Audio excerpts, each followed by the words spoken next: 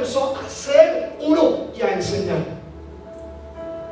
Cuando él a la tierra, él comenzó a hacer y comenzó a enseñar. La iglesia y nosotros siendo hijos de un padre, tenemos que entender que cargamos evidencias.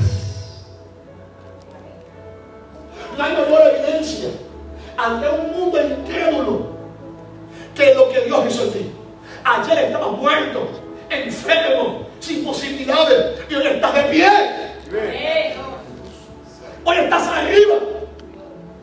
Mire, el mayor desafío de Dios no es el diablo. El mayor desafío o el mayor enemigo de Dios es tu mente. Cada vez que Dios le habla al hombre, somos los primeros en cuestionar. Por eso Jesús le dijo a los discípulos, este género no sale sin conversación. ¿A qué se refería Jesús?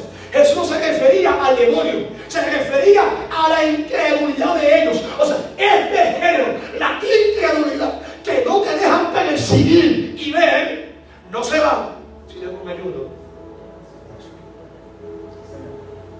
Por eso, cuán importante es entender la demanda y la responsabilidad como hijos en este tiempo. De predicar un Cristo vivo.